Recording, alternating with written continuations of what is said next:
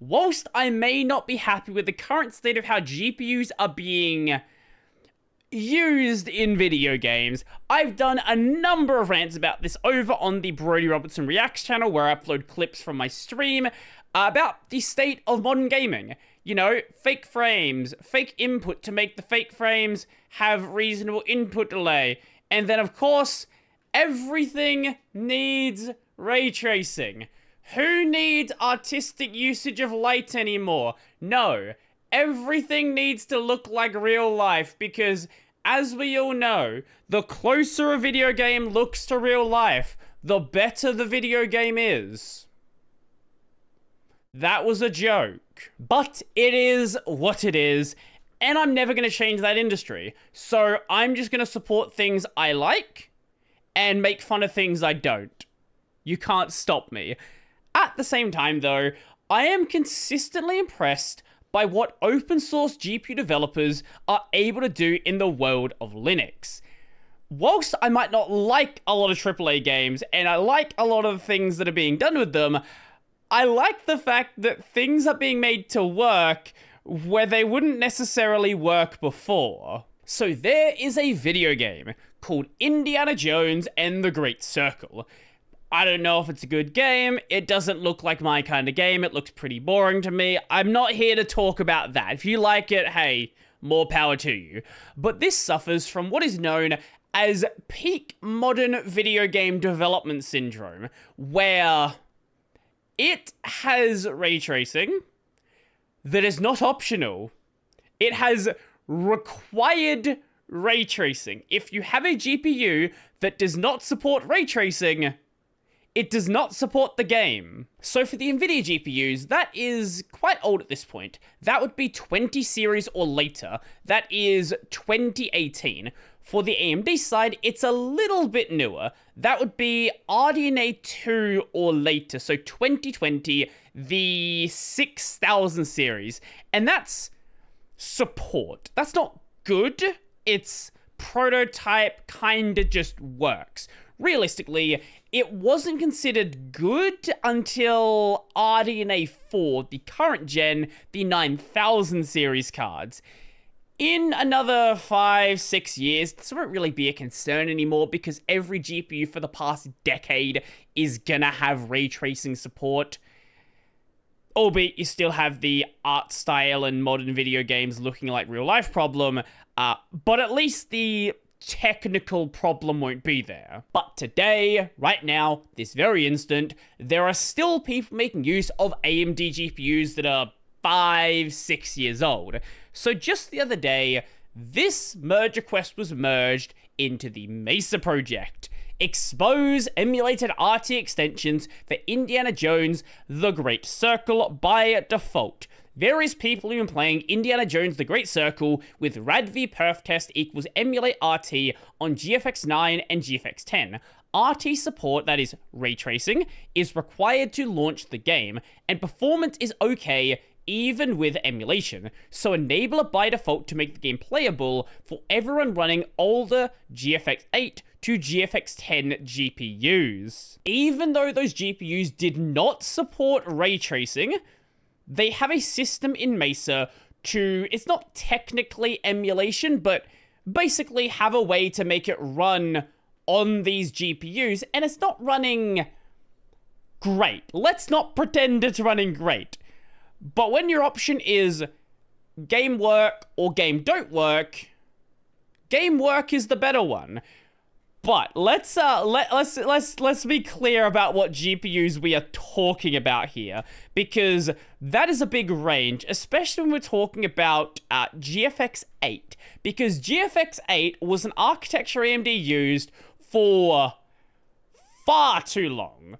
Whilst you might think of AMD today as not directly high-end competing with Nvidia, back when GFX 8 started, no one cared about AMD's GPUs. So GFX 8 started in 2013 2014 with the R9 200 series. Now, if you're using an R9 200 series GPU, you are not going to play this game well. Maybe you'll get 1 FPS at 360p.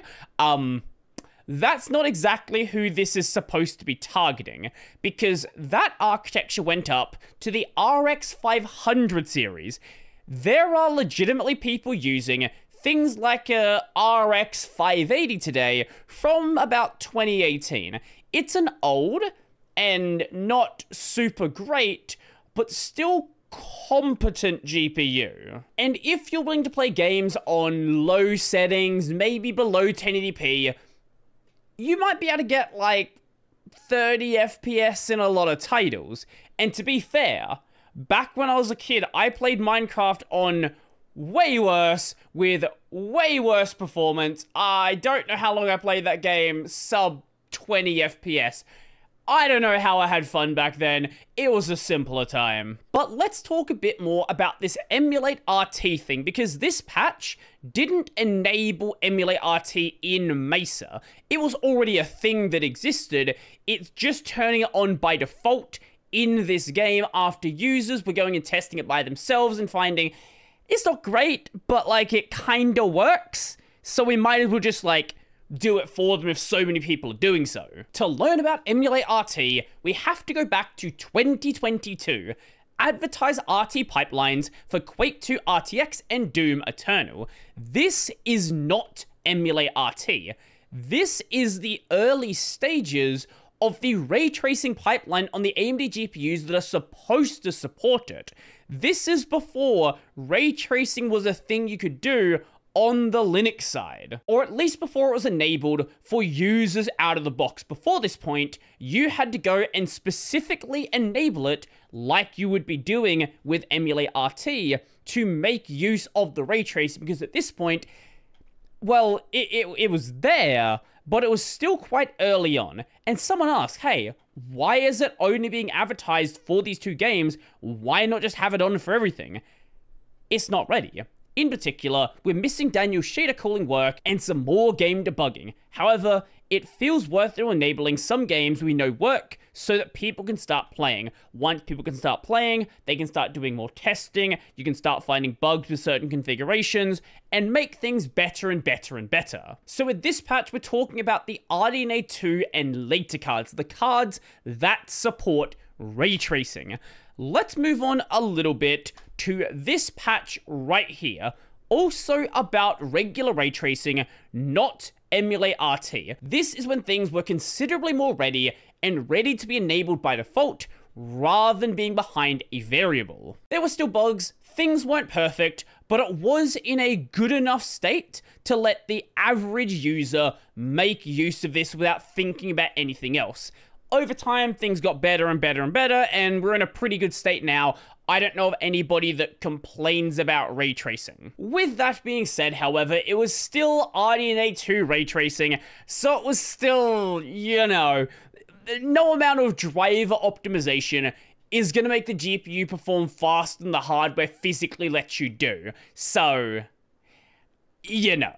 Now, shortly after that, there were more issues resolved, things like that. Things got to a pretty good state with everything passing just fine. But around the same time, another merge request was made. This one is related to the Emulate RT. Enable Emulated RT by default. Now that RT passes all the testing, we could consider enabling it by default as well. If we do, I'm not too sure if we should run emulated RT tests everywhere on CI though, it might be a little expensive to run. This was a fairly controversial idea to make because yes, you can do it, but do you want to? I don't think it's a good idea because it is very slow and I think would confuse users and harm overall experience. So if you have an old GPU that, you know, shouldn't support ray tracing and doesn't really support it, but there's like a system in the driver to make it happen. If there is a preset or you enable ray tracing because it says your GPU supports it, you're going to have a very negative experience, especially if that is part of a preset, and you might take that out on the game, or you might try to report issues about it to the developers, and they're just like, I don't even know how you've done this. I can see the point of it being too slow for anything serious, although I only ever tested it on a tiny Vega iGPU, no idea if lighter stuff can run reasonably well on older DGPUs, say like a uh, uh, Quake 2 RTX, for example. That's probably going to run well enough.